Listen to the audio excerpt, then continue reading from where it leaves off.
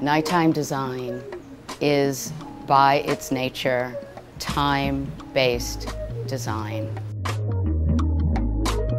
Nighttime is a very special time because the activities in public space change from the daytime. Nighttime design is a process. It's a way of approaching the configuration of an urban space at night. It's much more an approach, a responsibility to know about a place and about a particular place before designing. Bringing to bear all the expertise and experience that professionals but also residents have in order to achieve a good livable space that makes sense to all kinds of users. Lighting design and social research both need a great deal of methodological creativity and innovation. We need to find different ways, new ways to bring together social knowledges, spatial knowledges, and design practices. The premise for the research in Getsemani was a question. How can we build better communities with light? One of the, the main goals we had with this research right in the beginning was to, to ask how can social research inform design? How can it influence it? The first phase of our research in Getsemani was very much focused on understanding the dynamics of the place, its history, and the kinds of changes that people were experiencing. Getsemaní como eh, problema dentro de su desarrollo urbanístico está viviendo pues un desplazamiento urbano que es gentrificación y dentro de ese desplazamiento urbano cada día hay menos getsemanicenses. Arquitectónicamente las fachadas y las mismas casas están cambiando mucho y están creando una diferencia visible entre ricos y pobres. La noche es, un momento en que estas tensiones se, hacen más evidentes. Areas in Getsemani are very well traveled at night. The public squares, such as Trinidad, with its food trucks, with a very bright light, which is like a stage. The light on the street is primarily from the shop doors and windows, through the grills, which create rich shadows and light. Other side streets have very dark pockets. Fewer people walking, more people in the shadows, and the primary light comes from the residential doors which are open. Durante la noche en Getsemaní se ven muchas actividades, mucha vida, y eso significa que también hay luz, porque todas las actividades implican luz en la noche. Y esa diversidad se podría ver desde afuera como algo caótico.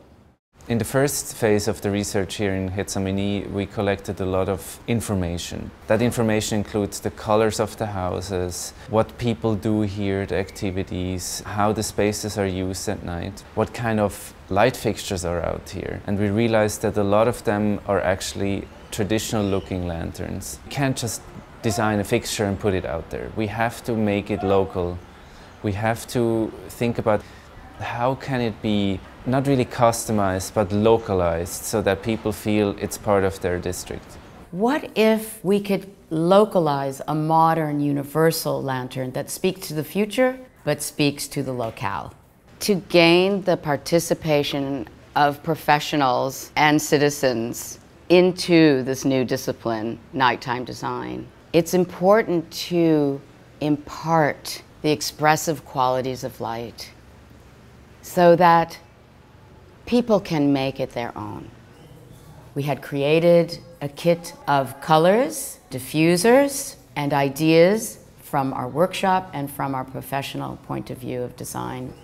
We presented those to our community stakeholder group. This group was extensively varied.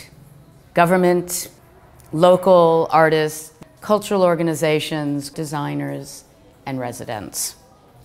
Another important part of the pilot for us, bringing all of these different lanterns that have different designs and that have, that have different colors, was giving people choices. Putting things next to each other gives people something to speak to, something to compare and contrast. And that is a very successful way to initiate a discussion about what people really want, what works, and how much easier it is to convince people when you have a prototype, a live situation that you can walk them through. It was exciting to see how the community got involved. They were a part of the process from the beginning. And as we exhibited our work, we saw that actually we did listen to the people. And it did feel like that what we designed was actually part of the community. Citizen participation and local programs will influence and create new nighttime experiences. We cannot be planning for, for cities based on recipes and based on a, you know, a plan and the geometry and the set of calculations, catalog of products. We need to go there, check the reality uh, for us to do good designs. These are designs that last longer. For a better nighttime design practice, we must find a way to accept the fact that nighttime design is for the people who inhabit our cities and therefore increase our methods to include participatory design.